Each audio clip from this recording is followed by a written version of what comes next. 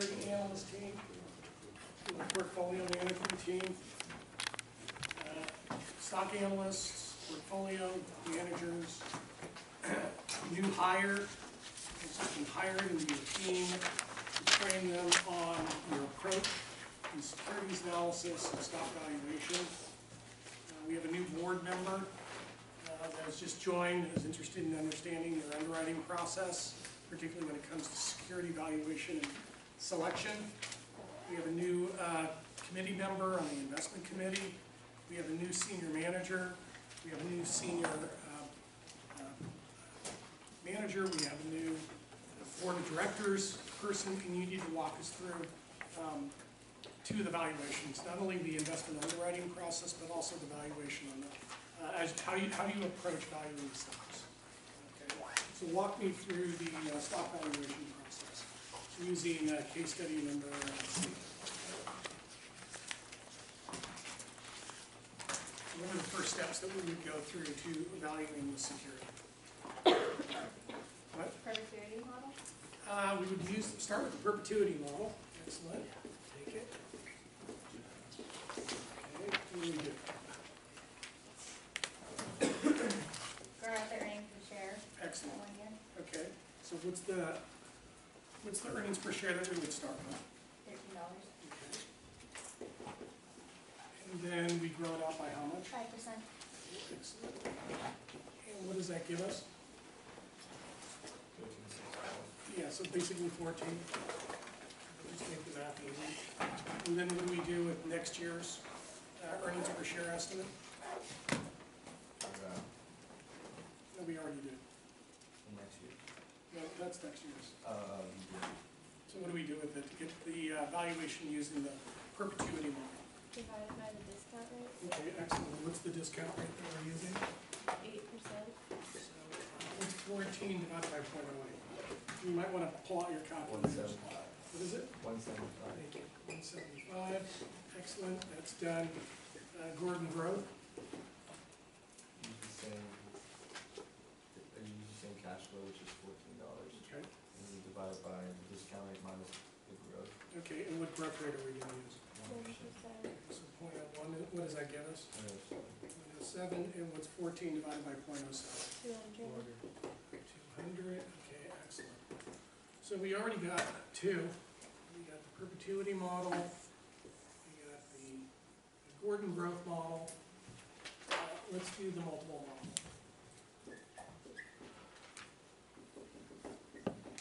Okay, and what's the equation for the multiple model? To get the valuation using the multiple approach?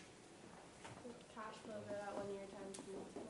Cash flow times the multiple equals the value using the multiple approach, okay? Uh, can you give me some multiples?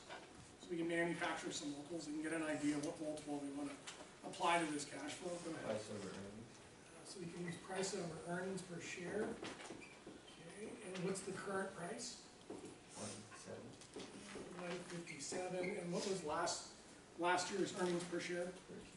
Thirteen, so give me a a multiple on that. two, or twelve, Twelve times, okay, can you give me the, uh, multiple using next year's cash flow?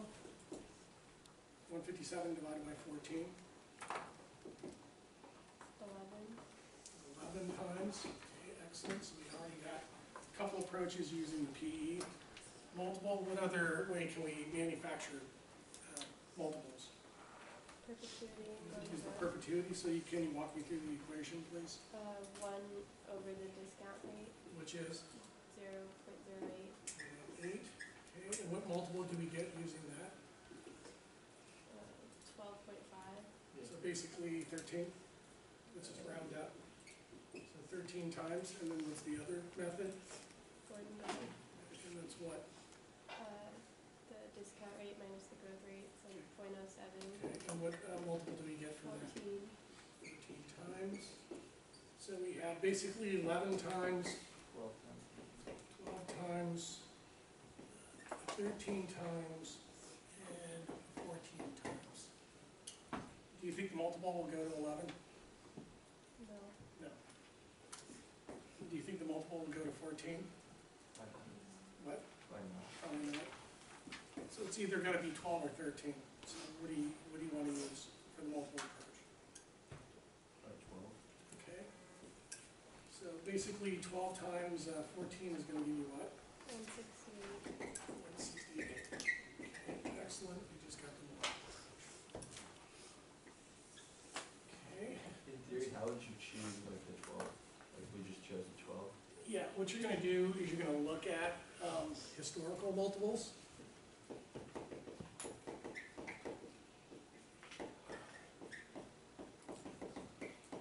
Gonna look at historical multiples, you're gonna estimate, um, forward-looking multiples, and you're gonna look at the peer group. And you're gonna look at their historical and forward multiples. Uh, If you think that the earnings per share growth rate trajectory is already peaked, then you know, you know it's not gonna be fourteen, if that's the all-time high. And if you look at the, uh, uh, over the most recent period and look at the peer group, it looks like the low point is eleven. Um, it might go to eleven over the next few years, but if you're still getting earnings per share growth trajectory and earnings per share growth rate momentum, it probably won't go to eleven. So you're basically stuck between thirteen and twelve.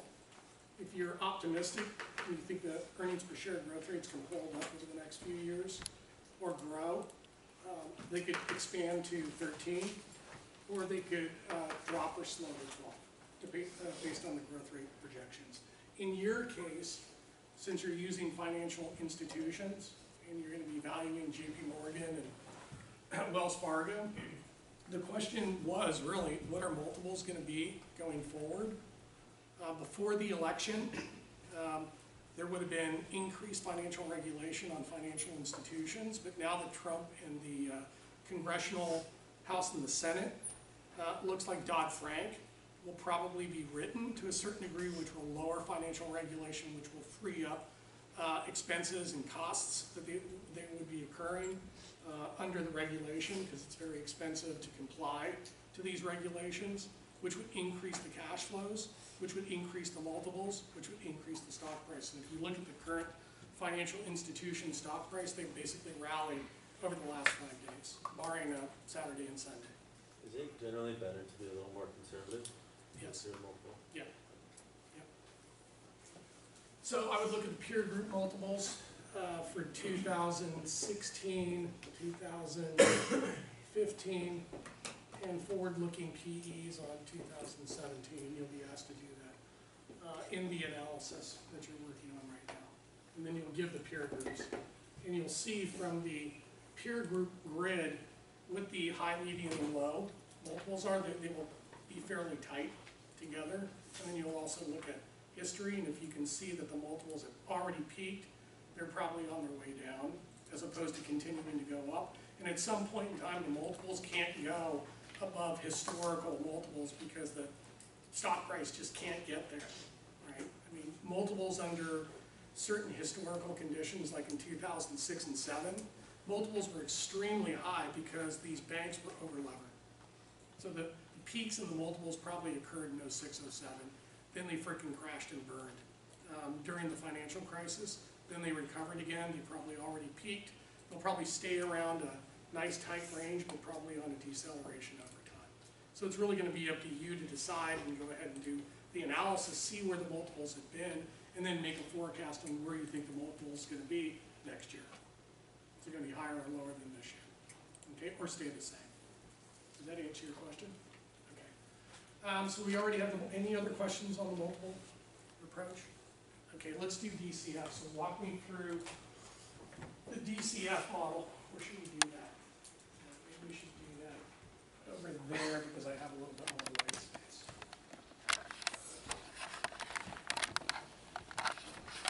So walk me through the uh, DCF approach. Remember, I just started with the current firm.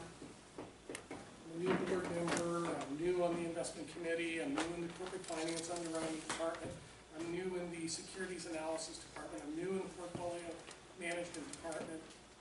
These are all areas that would be using these techniques.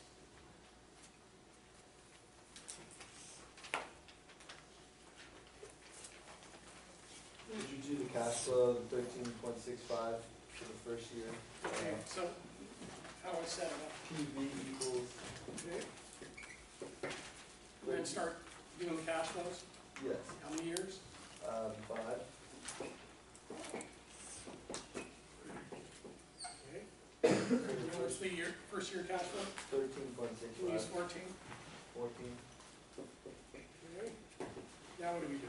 grow it out, um, five percent, Okay, and one point oh five, please break out your calculators instead of just writing down the, the answers, because I need verification valid. fourteen point Validation. seven, so fifteen, Okay, So fifteen, I don't mind going, you know, some it was fourteen point, yeah, You said this was what, thirteen point six five, yeah. thirteen point seven? If it's thirteen seven, then that second number's gonna be different, what's this one? Well, I rounded this up, wasn't it thirteen point six five? yeah. Do you want me to use thirteen point seven and grow it out five percent? Fourteen point four. Yeah. No, no, no, you're not gonna grow it out, because you're already starting with thirteen, so it's thirteen dollars times one point oh five. Yeah, but if you use thirteen No, I'm talking about the next year. different number. So thirteen point seven times one point oh five Uh, That's right, okay, got is it. fourteen point four. Thank you, thank you. All right, and then what do we grow it out again? Uh, four, What is it? four, Okay, and what do you get? Fifteen, What is it? fifteen, Okay, and then what do we do? or about three percent. Okay, one point oh three, and everybody's checking the numbers? You're Taking out your calculator and calculating these things, because what'll happen is you'll be sitting in the, in the meeting, and they'll be expecting you to do the calculations at the table, to then verify the numbers, so that they're correct. So everybody around the table, you know, doing the numbers as fast as they can, or they're doing them in their head, to give the number the quickest. Okay, it's a very competitive environment.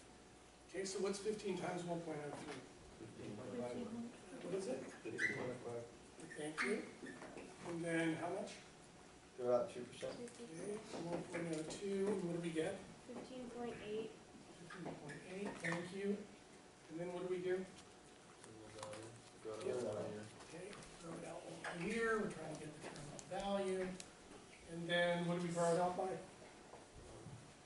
What one it? One percent.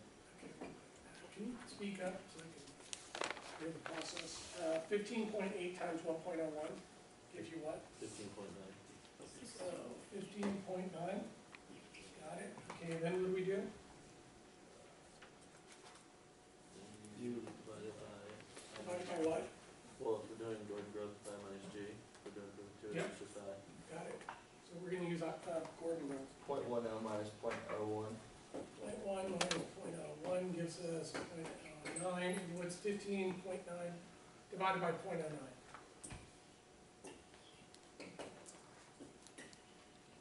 uh, hundred seventy-six point six, so one seventy-seven. Thank you. And then what do we do? Add that back to the fifteen point eight, Okay, and that gives us what?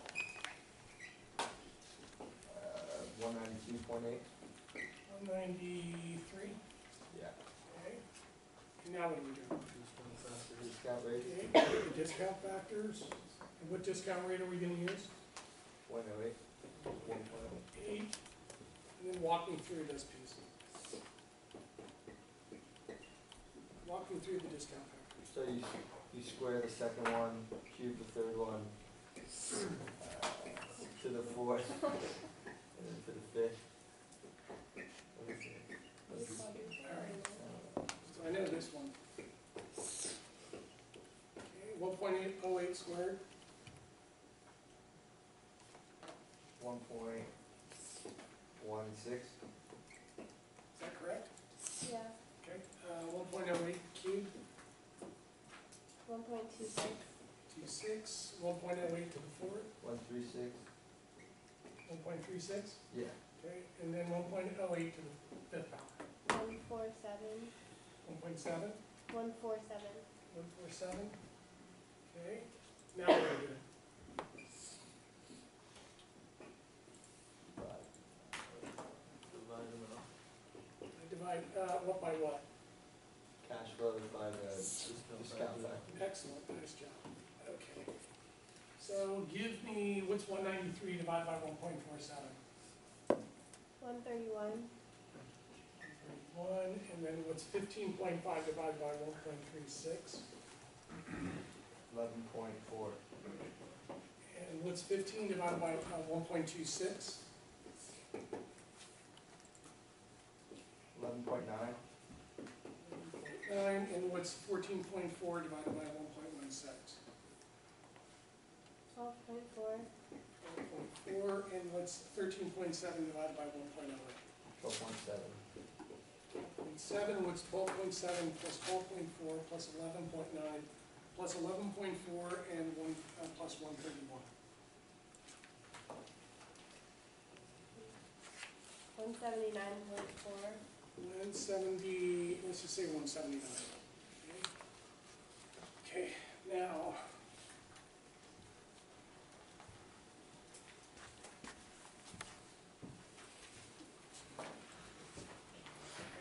So let's look at the scenarios. Scenario, you scenario one, scenario two, three. Uh, These are gonna be weights, perpetuity, What's the valuation on perpetuity?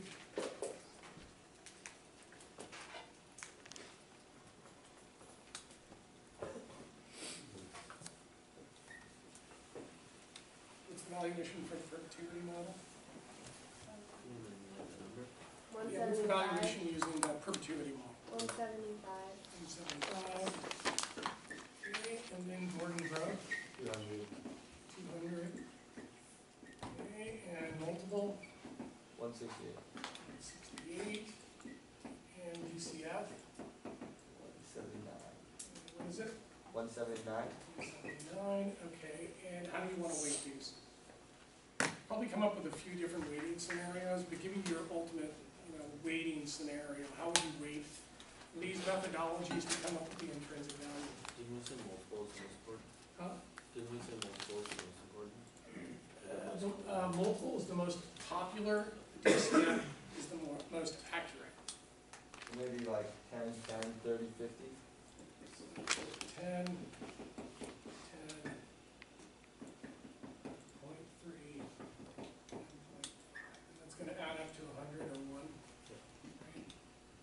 So what's hundred and seventy-five dollars, uh, times point one? seventeen point five, Five, twenty, uh, what's point three times one sixty-eight? Fifty. What is it? fifty point four, yeah, fifty point four. Fifty point four, and what's, uh, half of, uh, one seventy-nine? eighty-nine point five, Eighty-nine point five, and what's eighty-nine point five plus fifty point four plus twenty plus seventeen point five? One seventy-seven point four, What is it? one seventy-seven point four, Seventy-seven point four, and what's the current stock price? One fifty-seven. Seven. Current price. Intrinsic value, and is the intrinsic value greater than the, uh, current stock price? yes, Ugh, I need room. Don't, don't you divide the by one fifty-seven? Uh, I do like to get the premium on that, so why don't you give me the premium? I got one point one two. Point one two, which is basically what, twelve percent? Are we, uh, within the twenty percent range?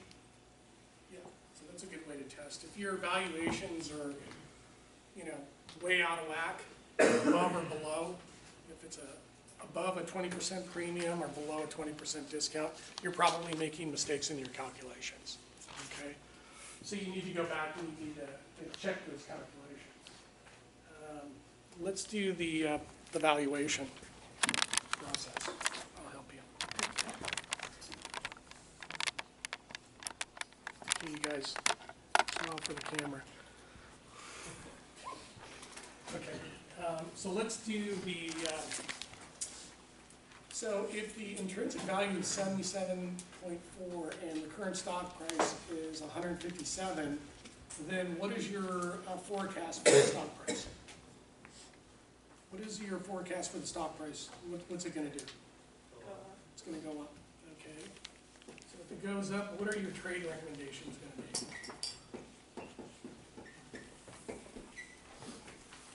Walk me through the trade recommendations for the stock, for the stock. about five feet. Why not margin? stock, Why not margin? can I buy the stock first? Yeah. Buy and hold, no leverage? So I'm gonna buy it, next, Why not margin? okay. Margin. Okay, Buy calls. calls. Right, let's, Okay, so how many, um, trades do we have for the stock? four. Four. Okay, and if the stock makes up a significant portion of an exchange traded fund, and the stock price and the return on the stock is highly correlated to the exchange traded fund price and its return, what trades would you recommend for the ETF? The same ones. The same ones. And what does that give you? Trades. How many? Eight. Gives you eight trades. Okay, and these are gonna be the same. Okay, and if the stock makes up a significant portion of a stock price index, and there's high correlation between the stock price and the stock price, the stock's return is highly correlated with the, with the index, uh, level and the index return, what trade recommendations would you make to trade off the index buy futures. So you buy forwards, Buy futures. buy futures, Buy calls on futures. buy calls on the futures, Or back those. and then write price on futures. Index,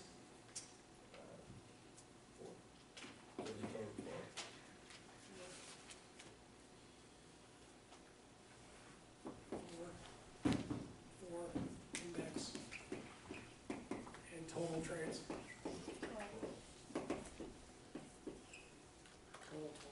you have twelve ways of making money for your company, your clients, um, recommendations to your clients, recommendations to company.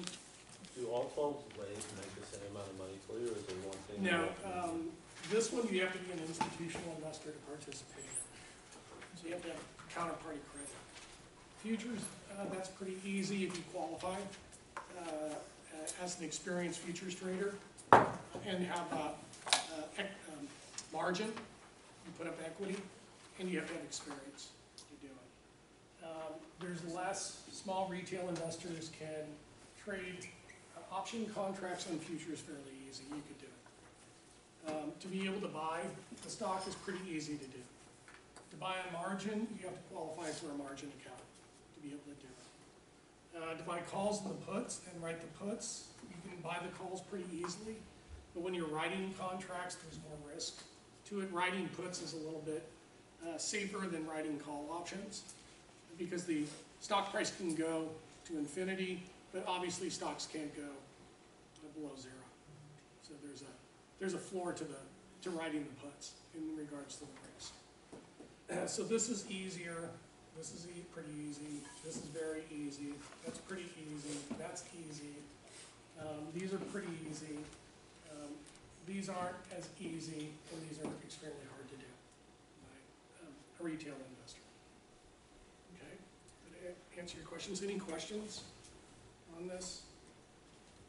Okay. A lot of the stuff you'll be doing for your, uh, for the, uh, the case. Anybody interested in a, uh, case study training program on Saturday? I come in, I drive over here from Pacifica, spend a couple hours with you, work in a team, do some research, fine tune evaluations, count them out, get them done. Interested in that? What, which company were you doing that for? Uh, JP Morgan and Wells Fargo is one that I'm going to come. Unless you want to rack your brain over the next two weeks trying to figure out a lot of this stuff. I'm down for What time would that be All you tell me. About five o'clock in the evening, What, eh, what day did you do it on? Saturday. What time? evening, No evening. evening? Uh, It's cocktail time shuts down at like five o'clock. One, Uh, one, Where, um, I'll let you know.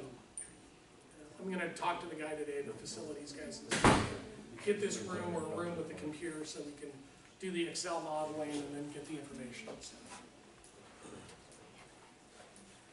Okay, I got one person at one. Two at one, three at one, four at one, excellent, okay, one o'clock. All right, I'll let you know. I'll send out a, an email to you guys there. All right, okay, let's do the, um, investment underwriting matrix, or what is also called investment decision-making matrix, it's also called the financial feasibility matrix. It's all based on capital budgeting. Okay, So can you walk me through your investment decision-making process? Again, I'm a new board member, new investment committee, new senior staff, new person on the team. Uh, Educate me through the underwriting process. How do you guys make uh, investment decisions uh, in your company? How do you guys make investment decisions?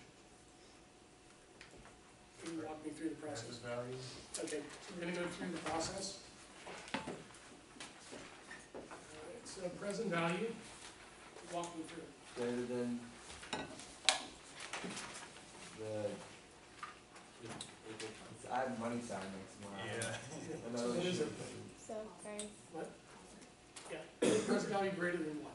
sales price, Price, either the sales price, it's the cost, it's the price of the stock, it's the price of the company, the capital, bu- it's the price of the equipment. Uh, the capital budgeting process, the investment decision-making process is the same. Okay, it's just what, what is the asset that you're underwriting? Your income-producing asset that you're trying to make an investment decision, decision on. Okay, what's the next one? Equals. Value equals, okay, Present value is less than. less than, okay, now what? What are other ways that we can look at this? Net present value. Okay, Net present value, Positive, positive, the pre- net present value zero, net present value negative. okay, what else? The IRR is greater than the WACC. Could this also be, um, expected return on the investment yes, hurdle rate? Is it, could it also be considered the hurdle rate? Yes. Yeah. Okay, next one, Uh, IRR equals WACC. okay,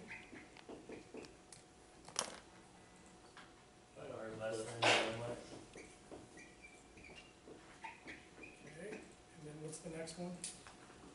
Break even, Okay, break even, less than three years, three years, okay, PE equal three years, equal to three years, and PE greater than three. break even greater than three years, okay? Okay, now walk me through. What do I do now? Yeah, so let's, well, this will be iteration.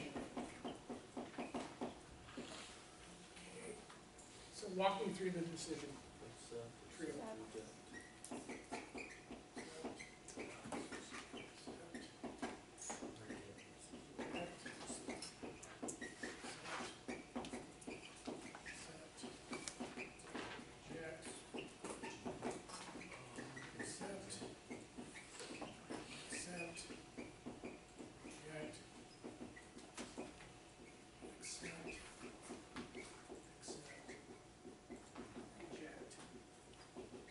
Some students had zero here. So you were confusing the, uh, the PV with the NPV, don't get them mixed up, okay? All right. So if the net present value is, is, uh, is negative, what's your IRR to the, to the WACC? If your NPV is negative, what's your IRR to the WACC, compared to the WACC? Less than. It's less than. Okay. Okay, and if the, um, NPV is positive, what's your IRR compared to the WACC? Greater than. Okay, so just remember, if you see an NPV positive, that you know your IRR is greater than the WACC or the expected return. If your NPV is negative, you know your, uh, WACC is greater than the IRR. Okay, so very quickly, you can tie those two back together. Okay? So let's say that, uh, we, get a negative NPV, Okay, but we, we still want the project. What do we do next? What's the second iteration that we would go through? Negative NPV? Yeah. Uh, restore deck. We want the project, Renegotiate, reduce the price, the okay, cost. we would renegotiate the price, or the, or try to reduce the cost, right?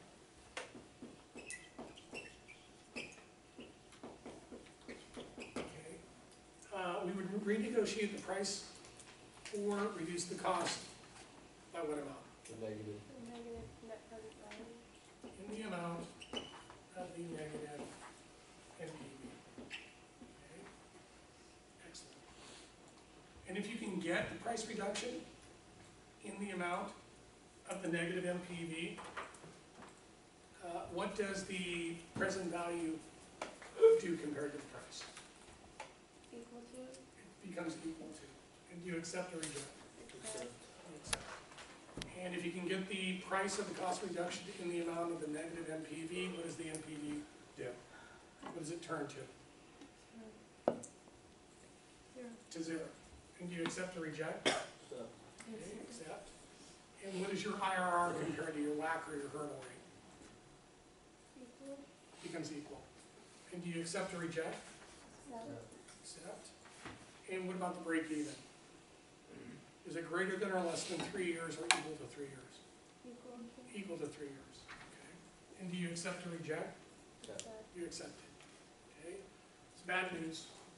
You can't get the price of the cost reduction in the amount of the negative NPV. What next do we do? So if you can't, if you can't, um, like get pa so I guess break even, so if you can't make money after, before three years or after three years, then you just, it's not worth it. Usually most large-scale projects, um, from when I was working at Schwab, when we were underwriting companies and underwriting, uh, large projects, Uh-huh. uh, we wanted to see break even in less than three years.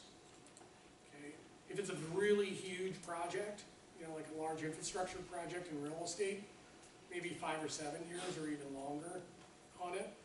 Um, and in technology, product, uh, introductions, and maybe acquisitions of firms, uh, they wanna see break even in less than a year. Okay, so those are just rules of thumb, you know, based on different types of projects. Okay, if you can't get So- the, if you, if you wanted it less than a year, would you have to grow it out monthly? Is that why you do DCF? um, yeah, they probably would do it like a twenty-four month. The cash flow coming in, when are we gonna break even? So you're gonna have to do that projection, okay? But they usually do it in years, okay? Um, we get, we get, a negative NPV, I can't get the cost down, I can't get the price renegotiated down, I still have a negative NPV. Um, what would be the third iteration that I could impose? Review the assumptions. Look at the assumptions.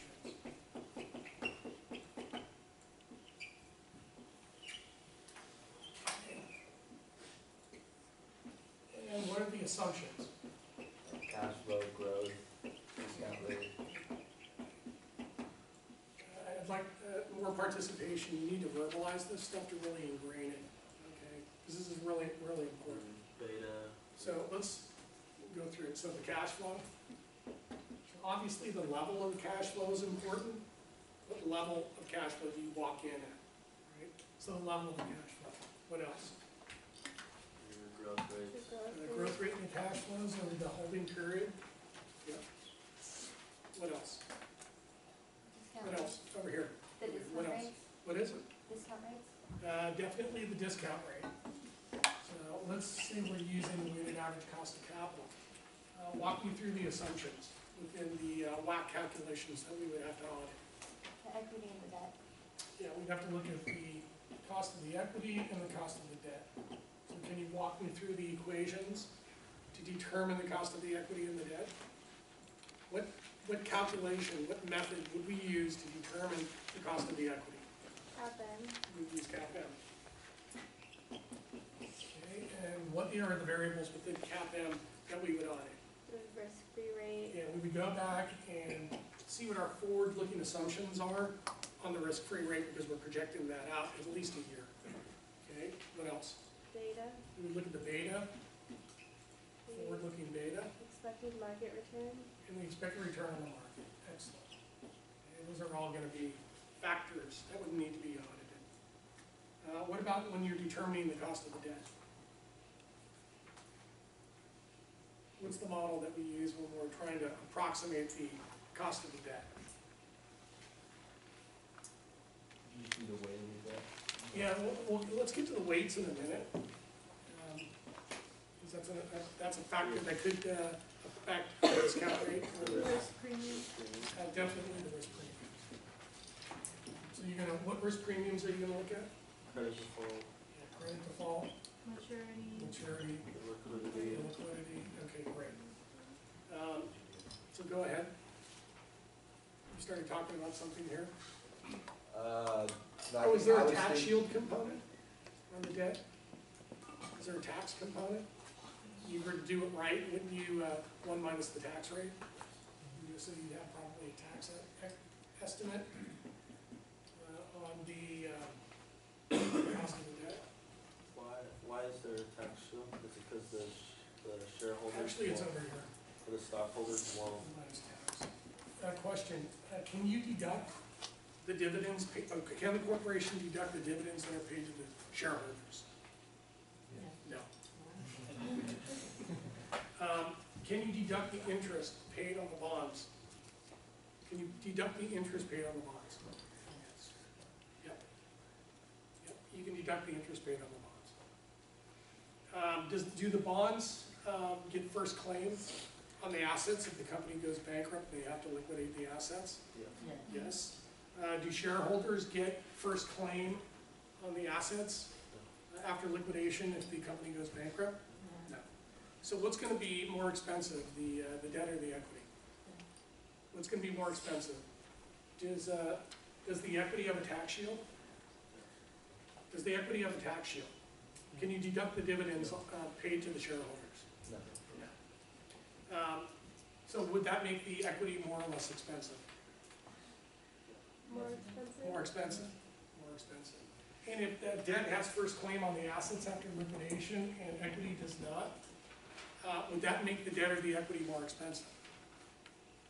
Would that make equity more expensive if they don't have first claim on the liquidation of the assets that you pay back? If you were looking at a bondholder or, a- or a stockholder, and the bondholders are gonna get first claim to the assets after liquidation and we don't, uh, would you charge a higher rate of return as an investor? Yeah, because of that risk, exactly. So equity is gonna be more expensive than debt, uh, in all cases. Okay? So obviously you wanna audit the the weight of the debt and the weight of the equity. So where would you have made your mistake? If your discount rate was really high, were you overweighting the equity or were you overweighting the debt?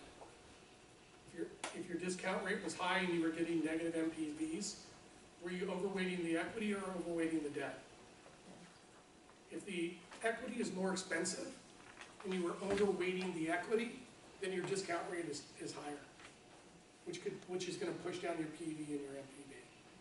So you might have overweighted the equity. Walk me through the other ones too. Did we over or underestimate the risk premiums? We're getting a negative NPV, did we over or underestimate the, the, the uh, risk premiums? Over. Over, overestimated this, overestimated this. Do we overestimate the risk-free rate or underestimate the risk-free rate? Do we overestimate it or underestimate it if we got a negative NPV? Okay. We overestimate. it. Do we overestimate or underestimate the beta? Over. Do we over, under, underestimate the return on the market? Under. Did we?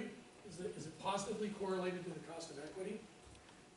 If we assume a higher return on the market isn't gonna push up our cost of equity, and the discount rate goes up and the PEVs and the NPVs go down, so we probably overestimated the return on the market. Uh, two more variables that we're missing. Uh, we already got the cash flows, Terminal value, we got the terminal value. So give me the variables within the terminal value that we could have over, or underestimated. Uh, growth, The growth rate, do we over or underestimate the growth rate? under, We underestimated it. And one more variable, one more variable, The discount rate, the discount rate. We terminal discount rate. Do we over or underestimate the terminal discount rate? If we're getting lower PVs and lower NPVs, do we overestimate or Yeah. underestimate the Over. terminal discount rate? Overestimate. We overestimated, okay? So again, you're gonna be in these meetings, and these people are gonna understand all this. okay? And it's gonna be really intuitive to them, okay? And it doesn't matter what ma- major you are, you wanna be involved in these conversations, because these are the decisions that are growing the company. Right, buying the equipment, to doing the marketing programs, to doing the advertising, developing the products, buying other firms. These are really important decisions.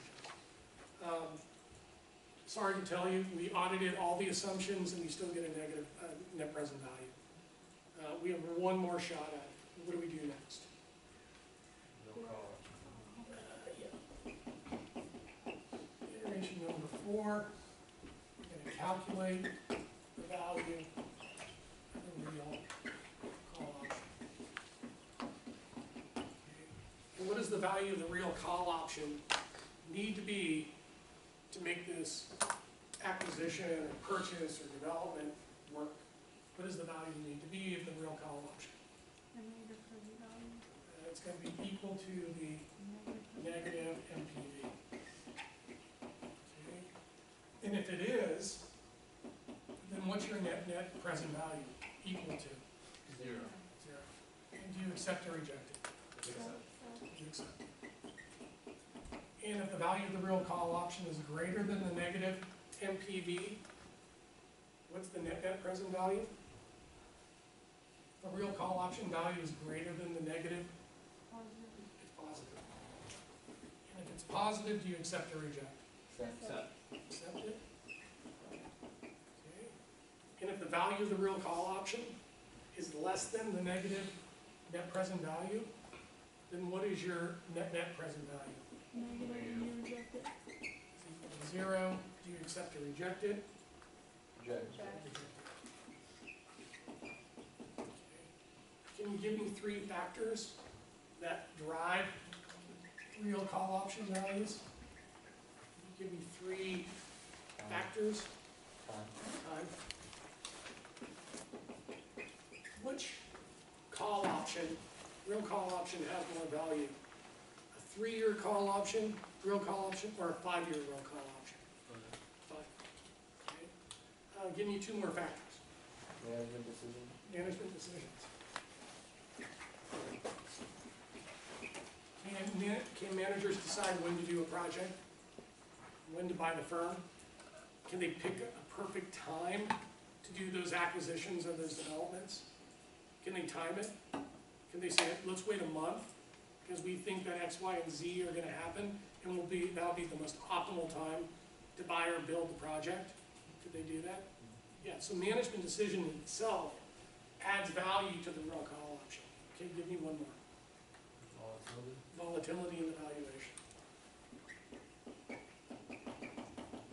Volatility in the price, value, will also add value to the real call option. So if you have a five-year real call option, and you're in San Francisco, and you're trying to take down land, and you have basically an option on the land for five years, and you have a set price that you've already pre-negotiated, but you haven't taken the land down yet, we know that land values in San Francisco are highly volatile, right? Because they're so precious. The volatility in the price increases the probability that the price will exceed the real call option cost, and that you will be in the money. So volatility adds to the real call option. So, um, I had trouble understanding when you were talking about how we overweighted some of them. Yeah. So how do you know that you like overweight the risk-free rate and like the, and you Uh, no, it's the, when you overweight, it's gonna be in the weight of the debt and the equity. It's, did you over or underestimate the risk-free rate? How do you, how do you determine that? Because the, You have to go back and audit, and you re- rerun the calculations and you see if you made a mistake. And, and the market might have changed if you have like a 30, 60, or ninety day underwriting period. The deal might have been net present value negative when you did it, two months ago, but now because of interest rates or political changes, you rerun the scenario and you find out that it's now NPV positive, because things have changed within the time, that time period. So, in theory, the weight, you said the weighted equity should be more than the weighted debt, No, the other way around, Yeah. is, uh, is debt cheaper or more expensive than equity? More expensive. cheaper. It's cheaper. But don't you have to borrow it, so you have to pay? You're, you're borrowing, yeah, but you have the tax shield, that reduces the cost, and debt has the first claim, which lowers the cost of the debt. So if, either- if debt is cheaper than equity, do you use more or le- less of it from an economic standpoint? More. You'd use more. How is equity expensive? Just, It's more expensive to underwrite, so if I wanna issue equity, it's more expensive. I can't tax deduct the dividends on it, and, uh, after I pay off the bondholders, I pay dividends, so the shareholders get the last of the earnings payout. so is that why every It's more has a bunch of debt? That's why everybody has more debt. So then also like with JP Morgan, they give you the beta, so how could you over underestimate something that's, Well, the market might have changed, or, you know, are you gonna believe JP, are- when J, when you look at JP Morgan's betas, who calculates those betas? JP Morgan? No. No, it's either Morningstar, or Value Line, or, um, S and P, or IBIS. somebody's doing the calculation. And a lot of students will go to Yahoo Finance because it's so easy. They won't go log into the library, they won't go to the, you know, the resources, they'll just go straight to Yahoo Finance and use their calculated beta. It's a good approximation, but those are calculated betas. And could there be mistakes in the calculations? And a lot of, a lot of students, they'll go to Yahoo Finance, they'll take the data, they'll put it in the reports, and and it's wrong. Okay? The S and P reports are better, the IBIS reports are better, the value lines are better, and the Morningstar reports are better. They're better, higher quality, um, statistics. Yahoo Finance is not a good place to go. Okay? And then if the firm is over leveraged or highly leveraged, are you gonna give them a higher or lower beta? If the firm is over leveraged, and the stock price is highly volatile, are you gonna give it a higher or lower beta? Higher beta. If this, if the firm is more conservatively leveraged, and its stock price is less volatile than the market, are you gonna give it a higher or lower beta? Lower beta. So you have to think, you know, use the betas that are available to you and then project out what the beta is gonna be in a year from now. That's really the test here in this assignment, is are you thinking through the process? Or are you just regurgitating numbers that were given to you in the reports, or just pulling them down and just using them wholesale? Because when you're making the presentation in front of the committee, they're gonna ask you how, the- how you came up with the risk-free rate, how you came up with the. How'd you come up with the capital structure? Did you use book value, or did you use market value? How did you determine the terminal value, the terminal growth rate? Or how did you come up with the growth rates in the cash flows? They're gonna ask you all those questions. How did you determine the return on the market? How did you determine the risk, the risk premiums for the cost of the debt? How did you approximate the cost of the debt? You gotta be able to answer those questions. And if you can validate it, then you're right, I Yeah. guess. We got it from S and P. Or, you know, we looked at S and P Value Line and Morningstar. We thought that the, uh, the markets would be more volatile in the future. These guys are a little bit more levered than their peers. So we basically used a uh, projected or forward-looking beta slightly higher than the current beta. So if you can explain it away, you're, you're good. They're gonna go, okay, great, next question. If you slip up or the numbers look funny, uh, they're gonna call you on it, and then it's gonna be extremely embar- embarrassing, especially when you say, I don't know. And I get that a lot. I don't know where I got the beta. I don't know where I got the risk-free rate. Oh, I got the risk-free rate and the beta from the report you gave me. Well, that was Goldman Sachs. That was a totally different company. How can you use, you know, beta from another company and another report from last semester for this semester for a different company? I get that all the time. So if you were to use like S and P Morningstar and Merchant, and you find out they all have different betas, would you, it would be better? Yeah, but they're gonna be fairly tight. So would you wanna take the average, or you just take? the Uh, you gotta come up with it, just check it out and then think about it. Is the company gonna become more volatile in the future or less volatile in the future? Is the beta gonna, gonna stay the same or is it gonna be reduced? And then usually go more conservative. And then be conservative, exactly. Okay, Any other questions on that? Okay, how much time do we have? Okay, let's do this in thirty minutes. So does everybody have a, uh, presentation? No team has more than two of these, right?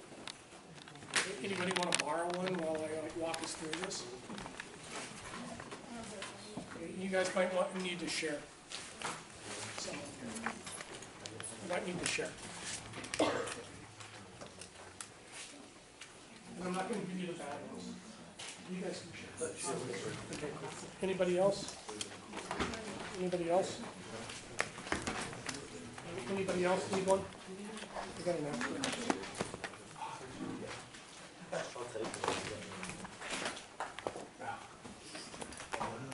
So what I tried to do on these presentations is I tried to throw out the ones that were really bad. Some, some students just can't get it.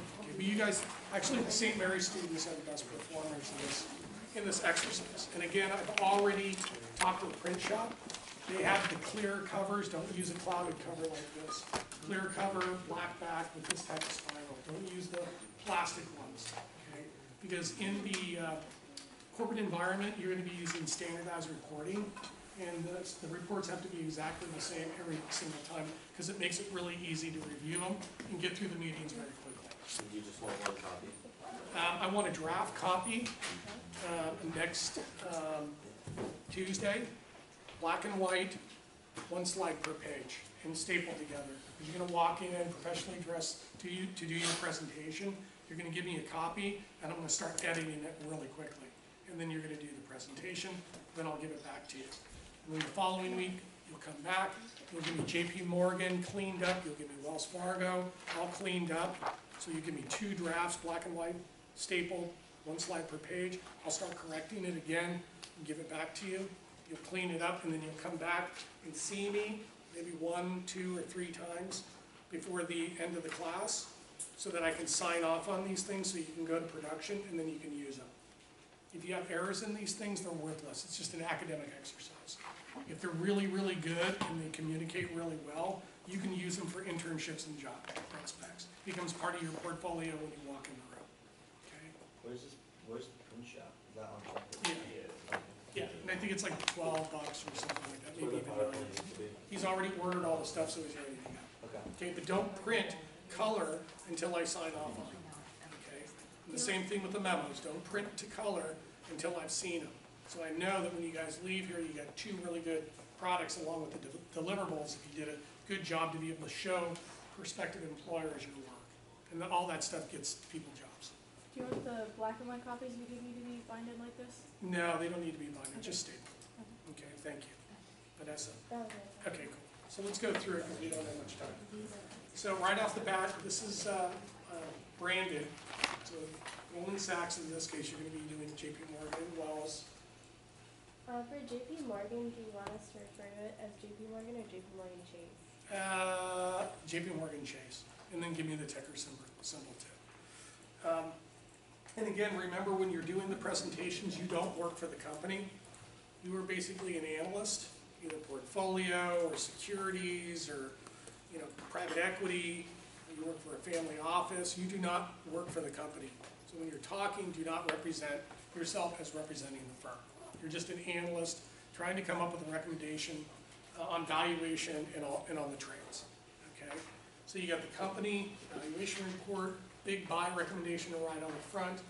You got intrinsic value, the price greater than, and it could be less than, um, the current price. And this is how it should look. Don't put the price on the back here, put it right next to each other, so when I scan it, I can say, okay, we're doing Goldman Sachs, there's a buy, and the intrinsic value is greater than the current price, boom.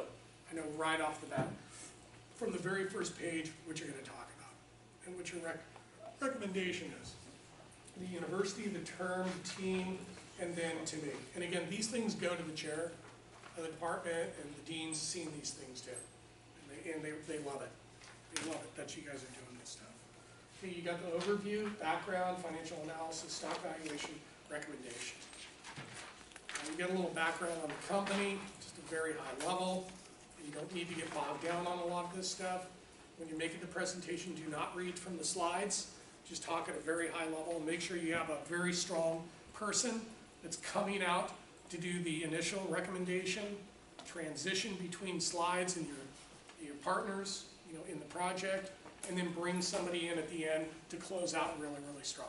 So if you don't have the marketing they're gonna say, oh, that was really weak, why, are we gonna invest in this Is it just like one or two people talking, or all three? All three should be, uh, talking, uh, but just make sure you don't tell me every single financial ratio, ratio on the chart and read every single word on every single slide.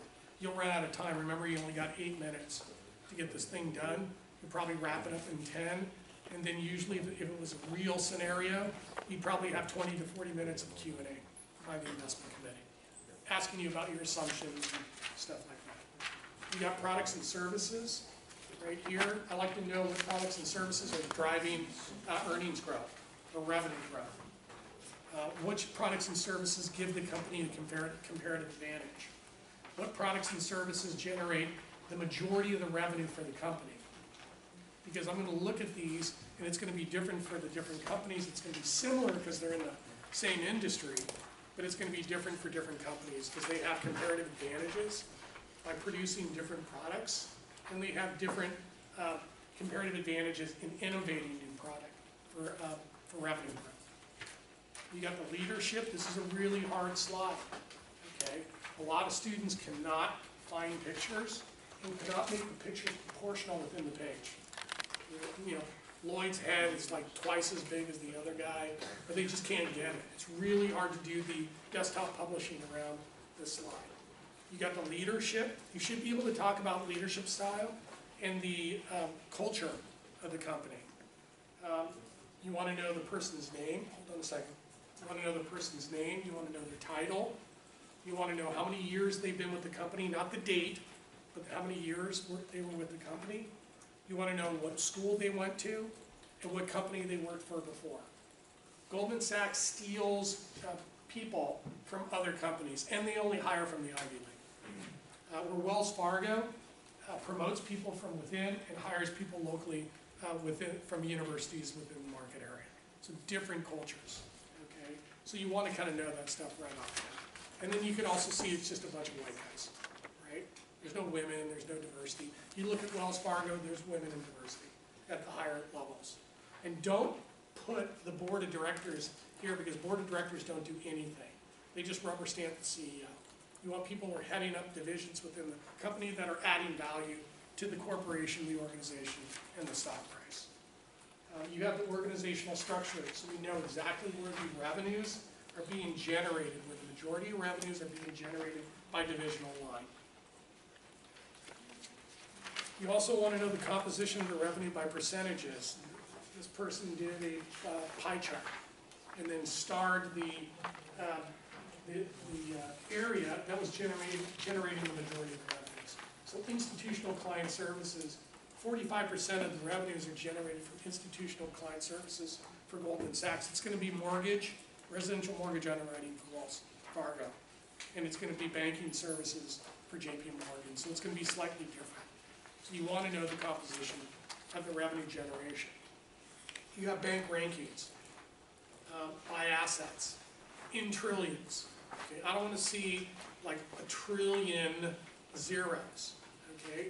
Just 1.6, 2.6, 1.8, just round it up and give me the trillions, and give me all the decimal points.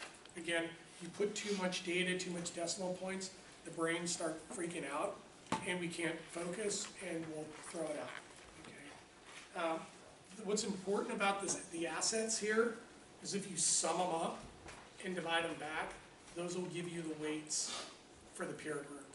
So if I have return on equity for the top five banks, and I calculate the weights, I can calculate a weighted average return on equity, that will become the peer group. And I'll walk you through the uh, mechanics of that uh, on Thursday. Okay? How, how do you do the financial ratios? You gotta take the average of the last four quarters, or you gotta use two thousand fifteen. Okay? And you gotta calculate the weighted average of the ratios, the top five banks, to get the peer group. The industry reports are not gonna give you the peer group, you gotta calculate the ratios yourself. Strengths, weaknesses, opportunities, and threats. A lot of students like to just copy and paste this right into the presentation without any modification from Standard and Poor's where they got it. Okay? So what you probably wanna do is to build a table, bring the data over from the different sources to create the SWOT analysis, and then rank the strengths, weaknesses, opportunities, and threats in hierarchical order by importance. And then through your research, you may identify some other strengths, weaknesses, opportunities, and threats through your research that you're gonna add to this table. Okay, now you're, and now you're adding value to the process, not just copying stuff. Um, financial conditions. Uh, in our case, we're gonna have JP Morgan, yes, you can use Goldman Sachs as the direct competitor, or B of A, or Wells. I, what I would do is I would use Wells against JP Morgan, so that that's all you have to do at the end of the, um, project for the first case study is flip the columns and redo the analysis. Um, you got profitability ratios, leverage ratios, make sure they're all in one decimal point. And then what you're gonna do is over in this column, you're gonna code, after you compare the target company's ratio to the direct competitor and the peer group, in most cases, these are the top companies. These are the top five banks. Uh, JP is one of the top five banks, so is Wells. So they're gonna blow away the industry. So really, when you're benchmarking and coding these things, you're really looking at the company's ability to beat the direct competitor and the peer group. And you're gonna code them. If the ratios are really, really good, then you're gonna give it an excellent If it's, they're slightly above the direct competitor and peer, you're gonna give it a good. If it's slightly above and basically the same, you're gonna give it above average. If it's equal to the industry, you're gonna give it an average. And if it's below the industry, you're gonna give it a poor. These companies should not have poor ratings. They should not have, um, sorry, below average.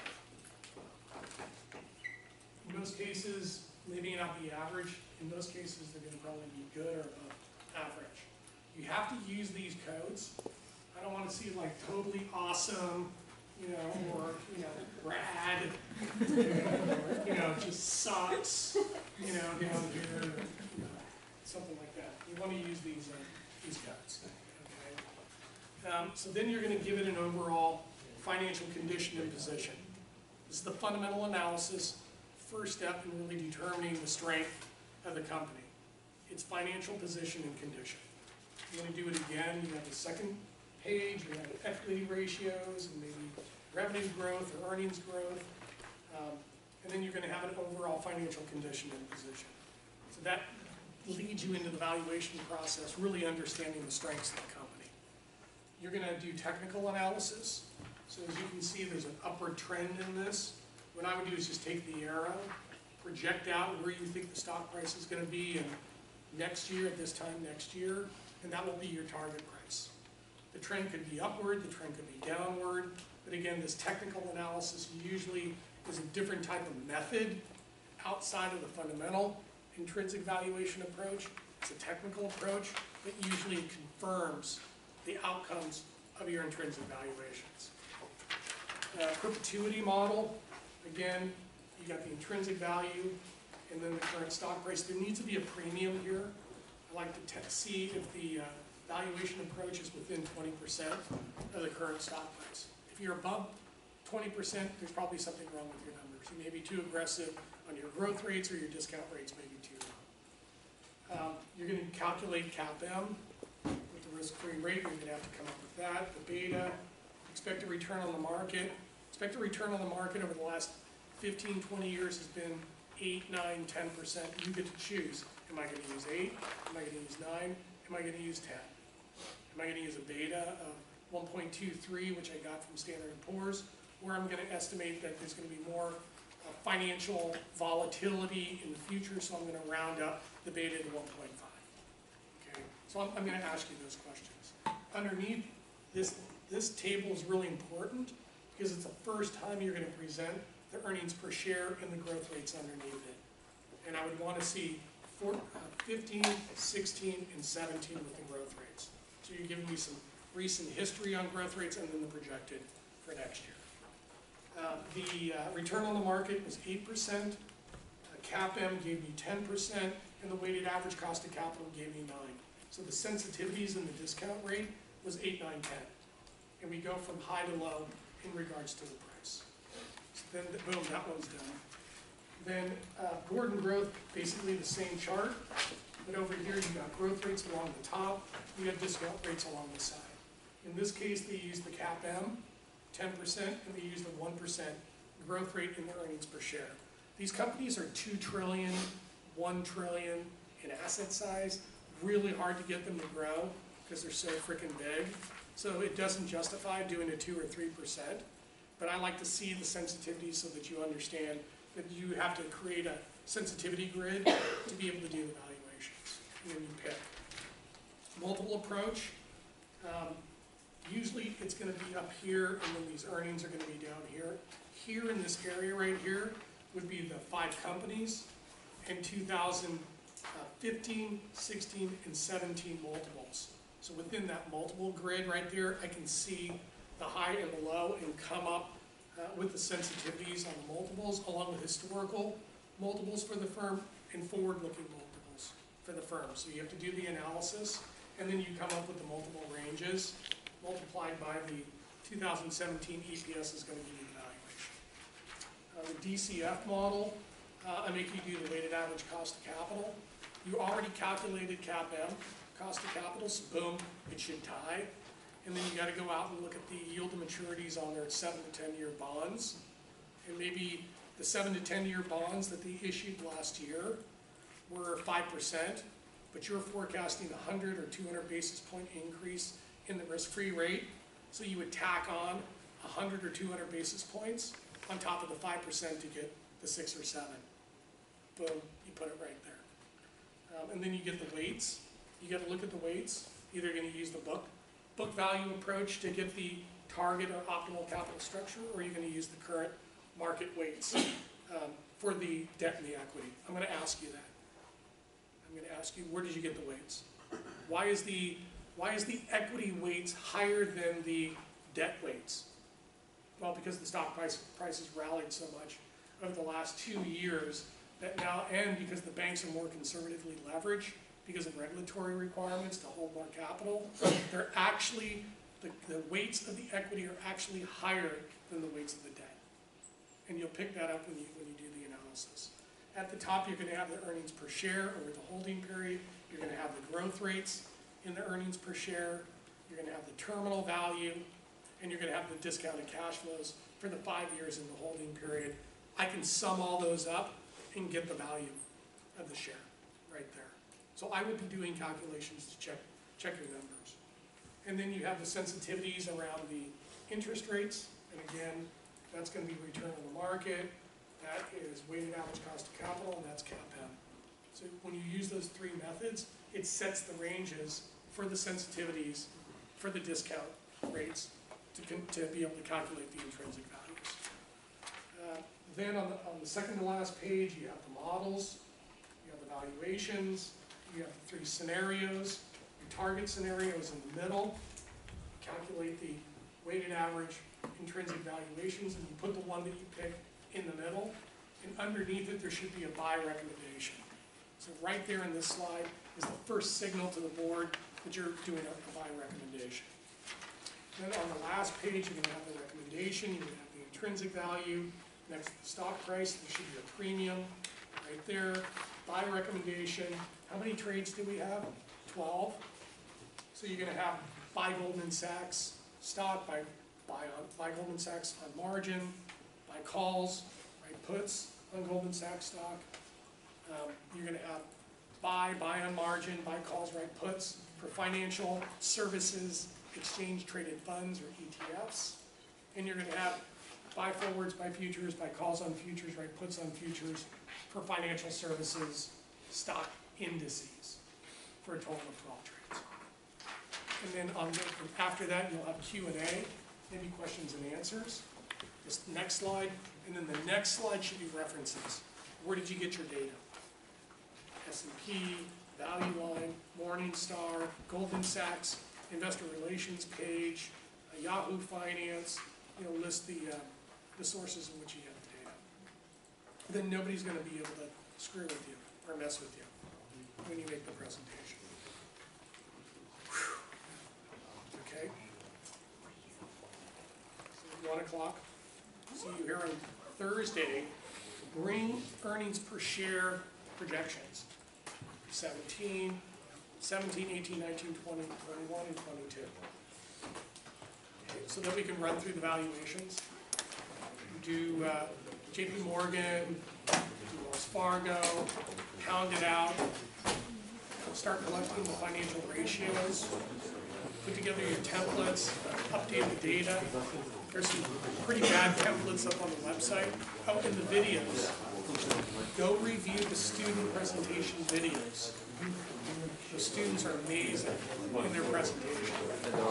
Yeah, they're on the website. Everything's down below on the, on the bottom of the website. Go watch some of these student teams, they're phenomenal in their presentations.